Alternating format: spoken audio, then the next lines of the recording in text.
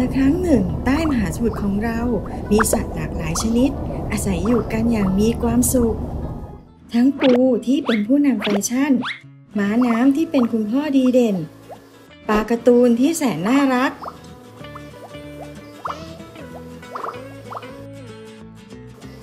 ปลาตกเบ็ดสุดเท่ที่ล่อเหยื่อด้วยไฟในความมืด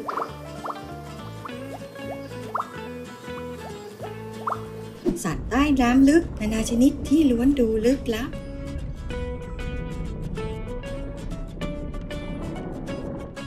รวมถึงหน้าที่ของแต่ละตัวที่มีความมหัศจรรย์และหลากหลาย เช่นปลาพยาบาล กุ้งพยาบาล ที่ทำหน้าที่ตอบปรสิตที่แอบอาศัยในปลาที่ว่ายน้ำไปมา รวมถึงปะการัง ที่เป็นบ้านให้แก่ปลาตัวน้อยๆ หรือที่หลบภัยเวลาเจออันตราย มหาสมุทรที่มีน้ำใสและสวยงาม เป็นความมหัศจรรย์ของเหล่ากระเบนราหู ฉลามวาน วานสีน้ำเงิน ที่ช่วยกองกินแพลงก์ต้นและอนุภาคสารอินทรีย์ในน้ำ เป็นดังเครื่องกองน้ำในมหาสมุทร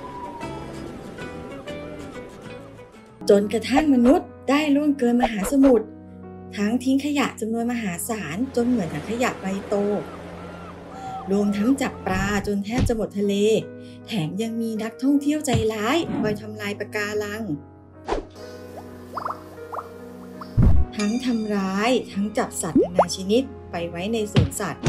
ไม่รักษาไม่ดูแล จับสัตว์ที่มีจำนวนจำกัดไปทำอาหารหรือสิ่งของต่างๆ อย่างโหดร้าย มาเถอะ มาช่วยกันดูแลมหาสมุทรของเรา ให้กลับมาสวยงาม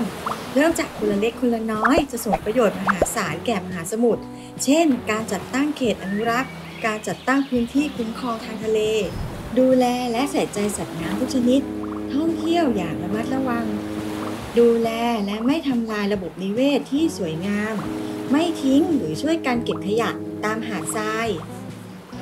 อย่าลืมนะ ช่วยกันดูแลคนเล็กคนละน้อย จนกลายเป็นการเปลี่ยนแปลงที่ดีอันมหาศาล เพื่อมหาสมุทรของเราโลกของเรา จะได้สวยงามไปอีกนานนับล้านล้านปี